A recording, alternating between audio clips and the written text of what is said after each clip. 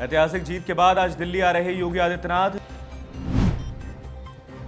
कल से शुरू होगा संसद बजट सत्र का दूसरा भाग। कोरोना से मिली राहत के चलते एक ही साथ चलेगी दोनों सदनों की कार्रवाई। एच डी देवगौड़ा ने दिया बयान, कहा किसान आंदोलन की वजह से पंजाब में हारी कांग्रेस। जनता ने दिया आपको मौका। चुनाव में काडर को मौका देगी बीजेपी। 10 सीटों पर अन्य दलों से आए नेताओं को उतारने की तैयारी। होली के बाद घोषित होगी उम्मीदवारों की सूची।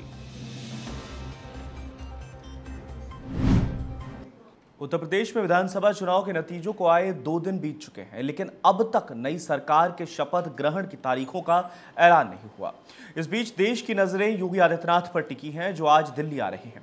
अपने दिल्ली दौरे पर सीएम योगी आदित्यनाथ, प्रधानमंत्री नरेंद्र मोदी और पार्टी के साथ बैठक में सरकार की रूपरेखा तैयार करेंगे। सूत्रों के मुताबिक यूपी में इस बार चार उप मुख्यमंत्री बना सकती है। राज्यपाल को इस्तीफा सौंपने के बावजूद अब तक यूपी में नई सरकार के गठन का ऐलान नहीं हुआ है। वहीं कहा जा सकता है कि योगी का शपथ ग्रहण होली के बाद 21 मार्च को हो सकता है। साल 2017 में बीजेपी की ऐतिहासिक जीत के बाद योगी ने 19 मार्च के दिन मुख्यमंत्री पद की शपथ ली थी। लेकिन इस बार क्योंकि 17 और 18 मार्च को होली है और 19 मार्च को एमएलसी नामांकन की आखिरी तारीख है, इसलिए योगी आदित्यनाथ को 20 मार्च को शपथ लेने की अटकलें हैं।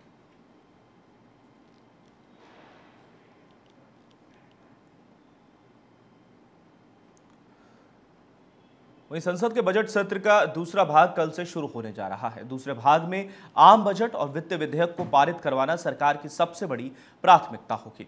सत्र के पहले भाग में दोनों सदनों की कार्यवाही अलग अलग समय पर चलती थी। राज्यसभा की कार्यवाही सुबह 10 बजे से, जबकि लोकसभा की कार्यवाही शाम चार बजे से शुरू होती थी। कोरोना के मामले फ़िलहाल काबू में दिखाई दे रहे हैं और हालात तेज़ी के साथ सामान्य हो रहे हैं। ऐसे में अब संसद की कार्यवाही भी सामान्य रूप से चलाने का फैसला किया गया है। दोनों सदनों की कार्यवाही अपने परंपरागत समय, यानी सुबह ग्यारह बजे शुरू करने का फैसला किया गया है। दोनों सदनों की कार्यवाही का समय सुबह ग्यारह बजे से दोपहर एक बजे तक और फिर दोपहर दो बजे से शाम छह बजे तक तय किया गया है।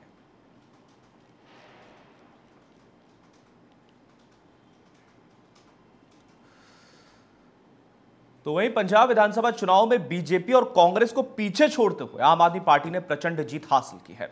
आम आदमी पार्टी की जीत के बाद पंजाब में कांग्रेस की हार क्यों हुई, इस पर पूर्व प्रधानमंत्री एच डी देवगौड़ा ने बड़ा बयान दिया है। एच डी देवगौड़ा ने कहा है कि राज्य में कांग्रेस की विफलता के कारणों में किसान आंदोलन और कांग्रेस पार्टी की आंतरिक समस्या शामिल है। उन्होंने कहा कि पंजाब में कांग्रेस के आंतरिक कलह के कारण ही आप और दूसरे दलों को अच्छा मौका मिल गया। देवगौड़ा ने कहा कि पंजाब में कांग्रेस की बजाय जनता ने आम आदमी पार्टी को मौका दिया। ये इस बात को दर्शाता है कि वहाँ के लोग बीजेपी को नहीं चाहते हैं।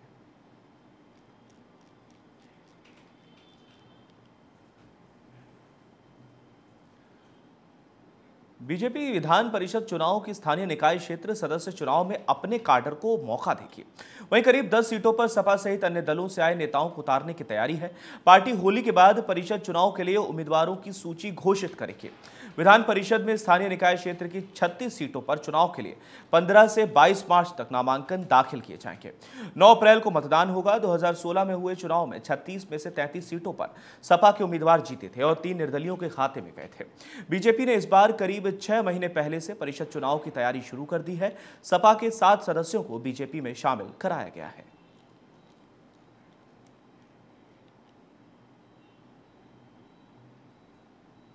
प्रतापगढ़ के दहलामऊ गाय घाट रोड पर सड़क हादसा हो गया, जहाँ पर ट्रक और बाइक में जोरदार भिड़ंत हो गई, जिसके चलते बाइक सवार गंभीर रूप से घायल हो गया। घटना की सूचना स्थानीय लोगों ने पुलिस को दी, जिसके बाद मौके पर पहुँची पुलिस ने घायलों को मेडिकल अस्पताल में भर्ती कराया, जहाँ पर उसकी हालत गंभीर बनी हुई है। वहीं पुलिस ने ट्रक को अपने कब्जे में ले लिया है।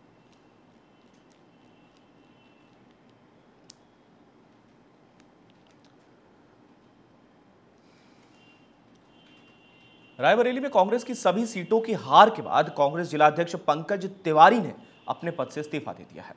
बता दें कि रायबरेली कांग्रेस का गढ़ माना जाता है। वहीं विधानसभा चुनाव में कांग्रेस की सभी छह सीटों पे हार के बाद कांग्रेस के पदाधिकारियों में हड़कंप मच गया है।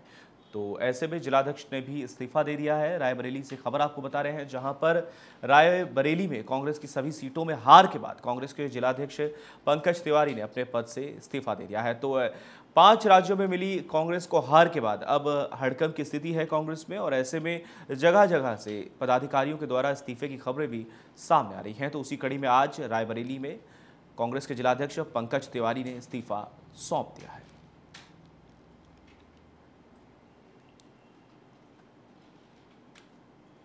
संभल के नखासा में मैंथा फैक्ट्री में भीषण आग लग गई। जिस इलाके में अफरा तफरी मच गई, वहीं घटना की सूचना पुलिस और फायर ब्रिगेड की टीम को दी गई। जिसके बाद मौके पर पहुँची पुलिस और फायर ब्रिगेड की टीम ने कड़ी मशक्कत के बाद आग पर काबू पाया। वहीं बताया जा रहा है कि आग गैस सिलेंडर के फटने की वजह से लगी। घटना में किसी भी तरह की जनहानि नहीं हुई है।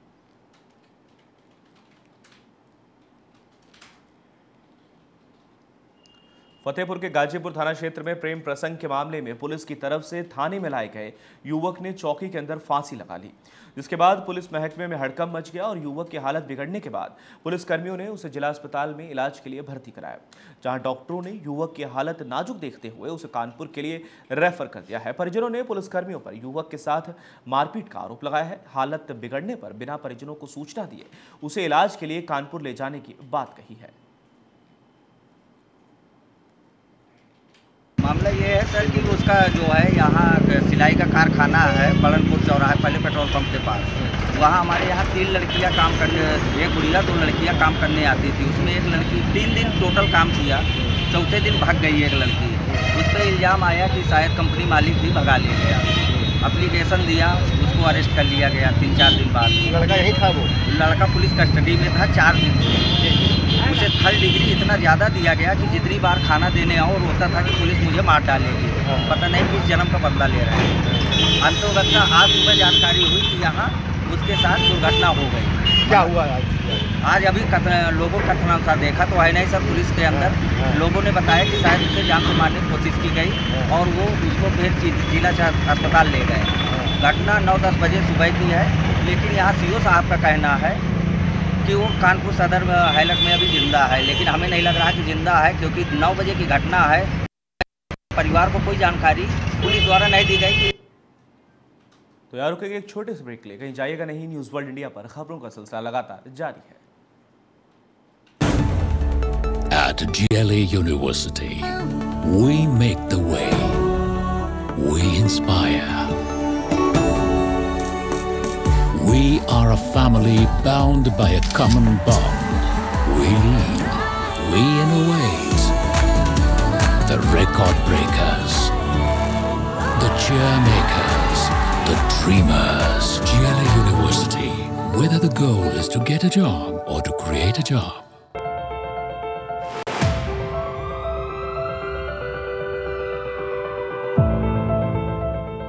अगर आप हैं किडनी जैसी गंभीर बीमारी से परेशान तो मत होइए हैरान। नोएडा में स्थित है पश्चिम उत्तर प्रदेश का एकमात्र ऐसा डायलिसिस रिसर्च सेंटर, जो आपको करता है आधुनिक तकनीकी से भरपूर चिकित्सा सेवा प्रदान। जी हाँ Reena care dialysis research centre ही तो है, जो अस्पताल के अलावा घर पर भी डायलिसिस की बेहतरीन सुविधा बहुत कम खर्च पर उपलब्ध कराता है। ये सब होता है विश्वसनीय चिकित्सा विशेषज्ञ डॉक्टर अनिल प्रसाद भट्ट की निगरानी में। डॉक्टर अनिल प्रसाद भट्ट विश्व प्रसिद्ध ऐसे डॉक्टर हैं जो बड़े बड़े चिकित्सा संस्थानों में न जाने कितने लोगों को नई ज़िंदगी दे चुके हैं। तो घबराए नहीं, किडनी जैसी गंभीर बीमारियों का डट कर सामना करें और Reena care dialysis research centre में अपना किडनी का इलाज कराएँ। वेदांता, एक ऐसा शैक्षिक संस्थान जहाँ होता है बेहतर शिक्षा का सही समाधान। सिविल सर्विसेज़ एग्ज़ाम हो या फिर डिफेंस सर्विस एग्ज़ाम, यहाँ सिविल शिक्षा की बारीकियों से रूबरू कराती अर्चना यादव कपूर। इस इंस्टीट्यूट को देहरादून में पॉपुलरली वेदांता आई अकेडमी के नाम से जाना जाता है। इंस्टीट्यूट की स्थापना हमने 2006 में करी। उसके बाद निरंतर यहाँ से कई छात्रों ने अपनी तैयारी करी और सफलता प्राप्त करी। जो इकोनॉमिकली वीकर सेक्शंस हैं या फिर जो उत्तराखंड की महिलाएँ हैं, उनके लिए हमने कुछ सीट्स रिज़र्व करी हैं।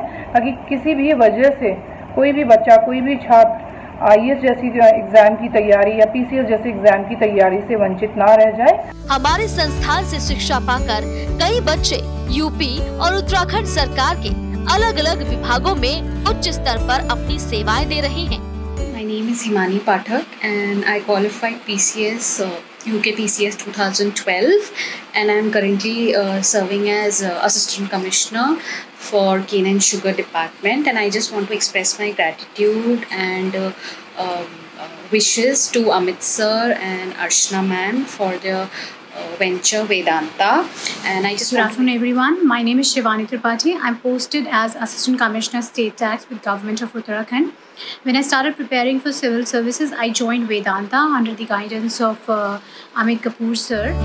तो फिर देर किस बात की आज ही लीजिए एडमिशन और कीजिए अपना आईएएस पीसीएस का सपना साकार Vedanta an exclusive IAS institute of Dehradun Uttarakhand 11 A, Nimbuwala, opposite R I M C main gate Garhi cantt, Dehradun, mobile number, nine three one nine seven double zero five seven nine. तो break के बाद एक बार फिर आपका स्वागत है। Bulletin में आगे बढ़ेंगे। ऋषिकेश में श्यामपुर पुलिस चौकी क्षेत्र के लक्कड़ घाट के पास ट्रैक्टर ट्रॉली का पहिया चढ़ने से एक चार मासूम की मौत हो गई है। वहीं ये पूरी वारदात सीसीटीवी कैमरे में कैद हो गई। घटना से परिजनों में कोहराम मच गया। घटना की सूचना परिजनों ने पुलिस को दी है, जिसके बाद मौके पर पहुँची पुलिस ने शव को कब्जे में लेकर पोस्टमार्टम के लिए भेज दिया।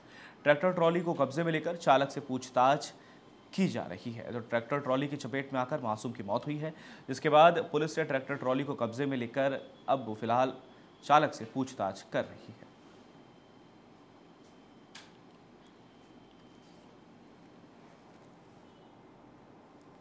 जैसे वो ट्रैक्टर आ रहा था ना ट्रैक्टर वाले तो आगे निकल लेकिन वो एकदम ट्रोली के नीचे आ गई। ट्रोली लगी और नीचे गिरी ऊपर से टायर फिर गया उसके।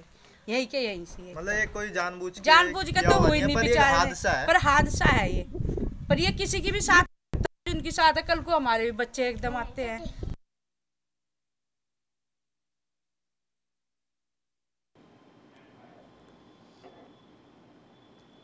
नैनीताल काला ढूँगी मार्ग बजून के पास एक वाहन के देर रात खाई में गिरने से वाहन चालक घायल हो गया।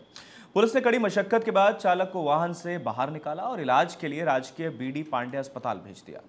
तो तस्वीर आप देख सकते हैं, नैनीताल की तस्वीर दिखा रहे हैं, जहाँ पुलिस का रेस्क्यू ऑपरेशन आप देख सकते हैं। तो बता दें कि पूरा मामला दरअसल नैनीताल के काला ढूँगी मार्ग बजून के पास का है, जहाँ देर रात एक वाहन खाई में गिर गया, जिसके बाद पुलिस की रेस्क्यू टीम ने वाहन चालक को बाहर निकाला है। फ़िलहाल वाहन चालक जो है, वो घायल बताया जा रहा है, जिसको इलाज के लिए राजकीय बीडी पांडे अस्पताल में भेज दिया गया है।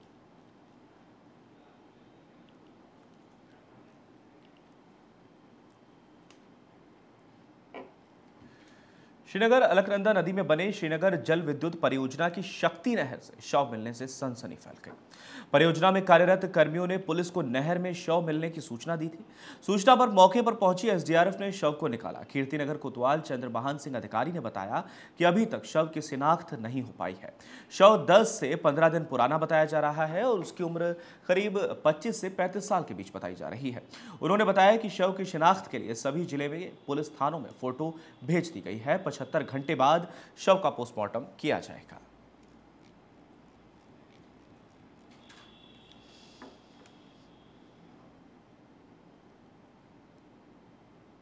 उत्तरकाशी में भागीरथी नदी के तेज भाव से एक हिरन बह गया था, जो कि बहते हुए भागीरथी नदी के बीच में फंस गया।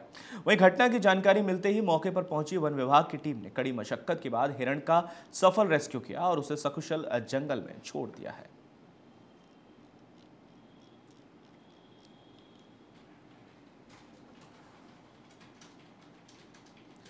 रुड़की में पुष्कर सिंह धामी के लिए प्रदीप बत्रा की तरफ़ से सीट छोड़ने वाले बयान के बाद कांग्रेस के प्रदेश उपाध्यक्ष सचिन गुप्ता ने पुष्कर सिंह धामी को खुली चेतावनी दी है। उन्होंने कहा, अगर वो रुड़की सीट खाली होने पर चुनाव लड़ते हैं तो उन्हें दस हज़ार से अधिक मतों से पराजित करेंगे।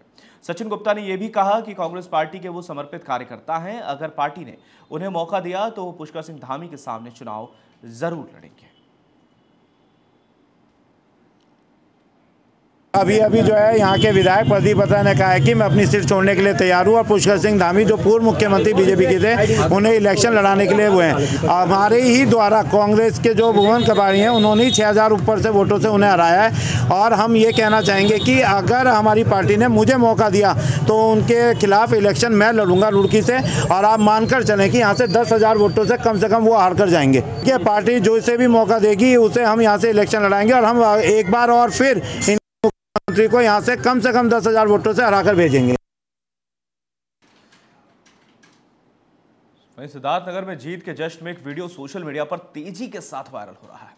यह वायरल वीडियो 10 मार्च की शाम सिद्धार्थनगर ज़िले के डुमरियागंज विधानसभा के डुमरियागंज चौराहे का बताया जा रहा है। वायरल वीडियो में डुमरियागंज विधानसभा से सभा के टिकट पर चुनाव जीते सैदा खातून के कार्यालय के बाहर हज़ारों समर्थकों की भीड़ इकट्ठा हुई। इस भीड़ में कुछ लोग एक विशेष पार्टी के साथ साथ विशेष धर्म के नारे लगा रहे थे। इस वीडियो क्लिप को लेकर अफवाहों का कुछ लोगों का कहना है कि वायरल वीडियो में पाकिस्तान जिंदाबाद के नारे लगाए जा रहे हैं। वहीं इसको लेकर क्षेत्र में काफ़ी तनाव की स्थिति भी है।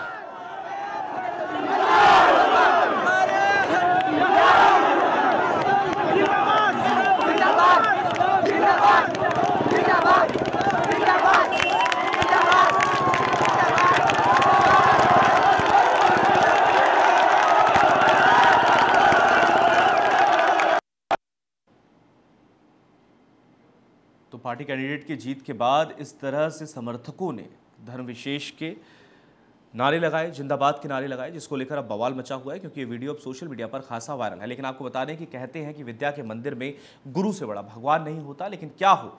जब वो गुरु ही हैवान बन जाए। तस्वीर आप देख सकते हैं। कुछ ऐसा ही मामला बरेली के फरीदपुर थाना क्षेत्र में देखने को मिला, जहाँ पर एक शिक्षक की छात्रा से अश्लील हरकत करने पर जमकर पिटाई की गई। शिक्षक को पीटते हुए शहर में घुमाया गया। इस वीडियो को आप देख सकते हैं। इस मामले का वीडियो सोशल मीडिया पर फ़िलहाल आपको बता दें कि बहुत तेज़ी के साथ वायरल हो रहा है। शिक्षक के खिलाफ कई धाराओं में मुकदमा भी दर्ज कर लिया गया है।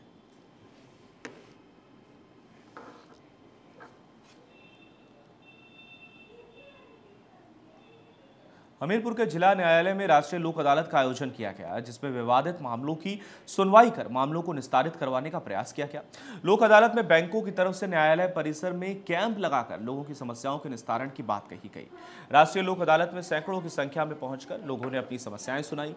राष्ट्रीय लोक अदालत में आए प्रशासनिक न्यायाधीश परिक्षेत्र हमीरपुर ने राष्ट्रीय लोक अदालत में लोगों की समस्याओं और शिकायतों के बारे में जानकारी ली और मामलों को जल्द से जल्द निपटाने के लिए कहा गया। लोक अदालत के माध्यम से सबसे बड़ी सुविधा ये हो जाती है कि आप लोगों को लंबे समय तक जो मुकदमेबाजी में उलझने से उनका समय बर्बाद होता है, वो बच जाता है। लोगों के बीच की लड़ाइयाँ हमेशा के लिए ख़त्म हो जाती हैं, उनके मन मिल जाते हैं, आगे आने वाली परेशानियों से वो बच जाते हैं। और, आज जब सभागार में ही मैंने लोगों को समझाने का प्रयास किया है, मुझे लग कि इसका काफ़ी अच्छा रिज़ल्ट निकलेगा।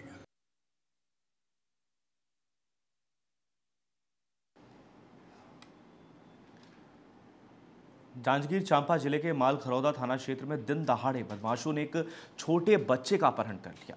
बच्चे की उम्र ढाई साल बताई जा रही है। आठ तारीख को दो बच्चे घर के बाहर रेत में खेल रहे थे। तभी वहाँ से एक बच्चा गायब हो गया, जिसकी सूचना परिजनों ने पुलिस को दी, जिसके बाद पुलिस ने लगातार छानबीन की, लेकिन अभी तक बच्चे का सुराग नहीं मिला है, जिससे बच्चों के परिजनों का रो रो कर बुरा हाल है। परिजन लगातार शासन, प्रशासन से बच्चे की सकुशल वापसी के लिए गुहार लगा रहे हैं। तो छत्तीसगढ़ के जांजगीर चांपा का यह पूरा मामला है, जहाँ बदमाशों ने एक बच्चे का अपहरण कर लिया, जिसके बाद अब परिजनों का रो रो कर बुरा हाल है।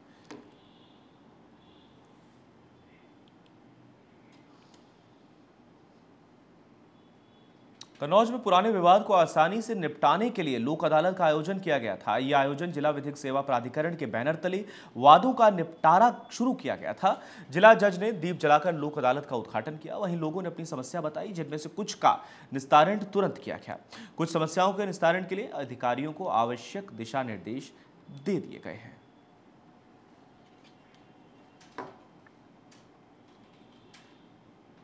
तो फ़िलहाल के लिए इस बुलेटिन में इतना ही। बाकी देश और दुनिया की तमाम बड़ी खबरों को देखने के लिए आप बनी रहिएगा न्यूज़ वर्ल्ड इंडिया के साथ। शुक्रिया।